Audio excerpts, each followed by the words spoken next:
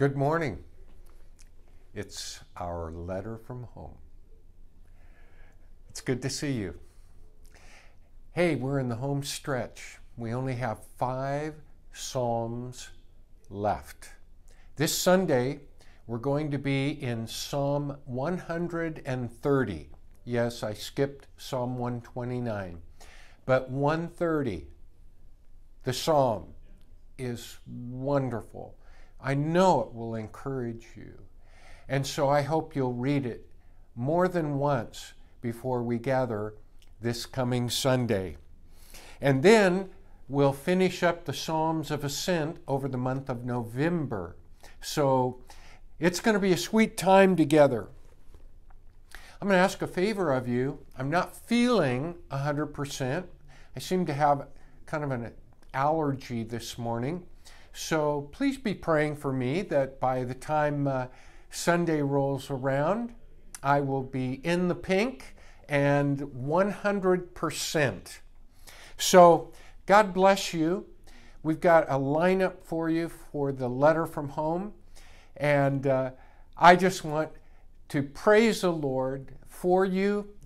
Thank you for your prayers, not just for me, but for the whole church, for one another, as well as the prayers that we offer and give unto the Lord with thanksgiving and the petitions that are so heavy on our heart for our country, our world, and certainly for our church. God bless you. We love you. Mwah. Hey, if you've not been at the North Campus, let me tell you, it looks really good. Thank you for all those who took last Saturday out and came and worked and upgraded the campus, maintained it. It looks fantastic. Also, Harvest Festival, that's coming up. Don't forget, I'm excited. Brittany and I just walked around the campus yesterday and just thinking about what's going to happen, what's going to take place. A lot of people are going to come down there. We are so confident of that. So, candy we need. We've got a lot of cars already set up. We got games set up.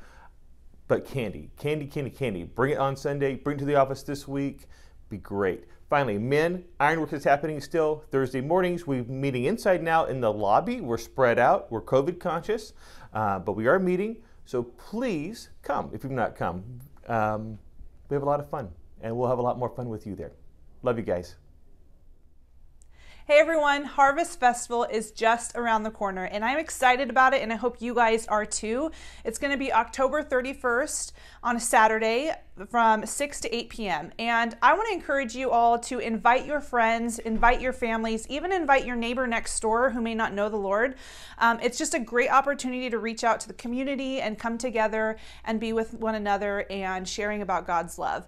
I want to also encourage you, if you haven't signed up to help out with the Harvest Festival, we have about two spots available for trunk or treat, and we still need help with our setup and teardown, and we would love for you guys to help. So get connected with me by calling the church church office or emailing me.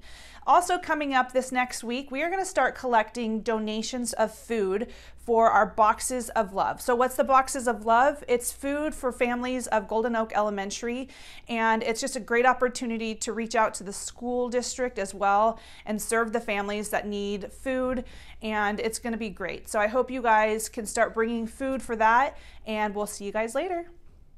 Hi, church. Well, hey, in high school ministry, there's still a lot going on. Every Wednesday night, we have our grow groups, and every Sunday morning, we've been meeting in the church parking lot after our main worship service and having youth group out there. It's been really great. We've been doing kind of a theology series where we've been just looking at what is what does God teach about sin, about God, about man, and, and all of those things. It's been it's been really great. Um, just want to give you a little bit of encouragement. This morning in our staff meeting, we had devotions, and one of the things that we talked about was uh, just when Jesus fed the 5,000 people, and it was kind of took it from the disciples' point of view, and it was um, just talking about their just their lack of faith on the on the front end and then God's faithfulness and provision afterwards. And it echoed back to uh, the Old Testament times when Israel was in the wilderness and when God fed them with manna and really uh, just struck me and reminded me and challenged me about how um, just how, how every day God is faithful and provides for our needs. And every time when, when something seems hopeless, when something seems like there's you know there's not an answer, God always provides. And I think in, in this season, as we look at just all the things that are coming up, remember that God is faithful. And that's such a cliche thing to say, but it's so true.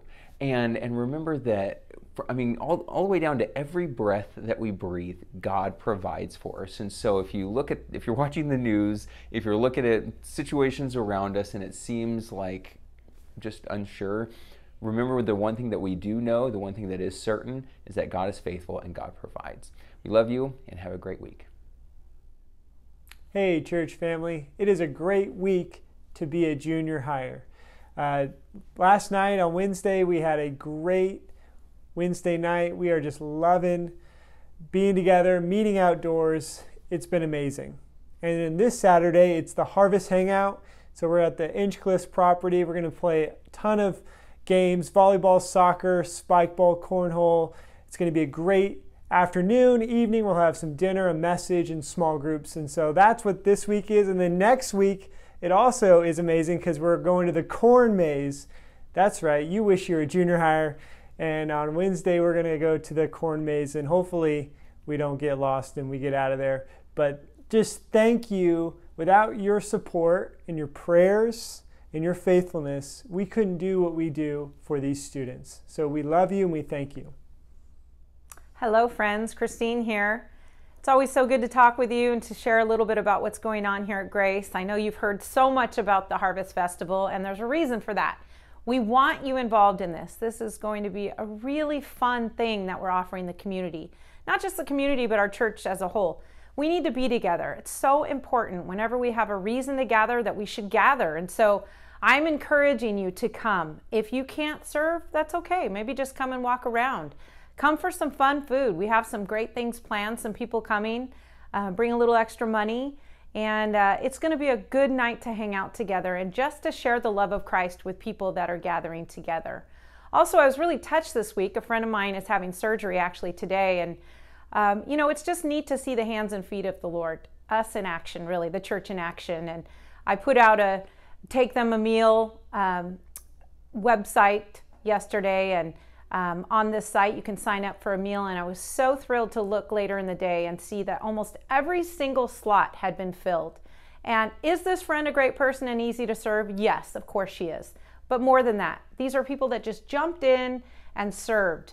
People that heard a need and jumped right in and said, Yes, I want to help. So I want to encourage you to keep being the church in your community, keep being the church to the friends here that we serve with, um, because again, we are the hands and feet of Christ. So be encouraged this week. Continue to be used by God, and I hope you're doing well. Bye. Hey, Grace Community Church. I just wanted to check in with you guys and just say hi this week. I don't really have any updates other than to say the Lord is doing such awesome things in this church. I guess that's not really an update so much as um, noticing and being excited about those awesome things. So be praying for our church specifically and be praying for the global church as it's going through this season still, that we can seek God's will for our lives and that we can love Him earnestly and we can understand the love He has for us. So have an awesome week, and I'm excited to either see you Sunday in person or on a video. Hey, church, this is Corey. I hope all is well. I hope this video finds you doing great in whatever your endeavors are, that God is blessing you richly. I wanted to let you know that April Beavers is our point person for Operation Christmas Child. That's right. She's the GCC OCC point person. So if you would like to participate in Operation Christmas Child this year, you are going to see her this Sunday on the patio and pick up your box. Also, satellite is going really well. We continue to meet outside, even though it's starting to get just a little bit chillier, and we're enjoying the community of young adults that exists at Grace Community Church. If you see them, give them a blessing, encourage them. I hope you guys have a great day. God bless.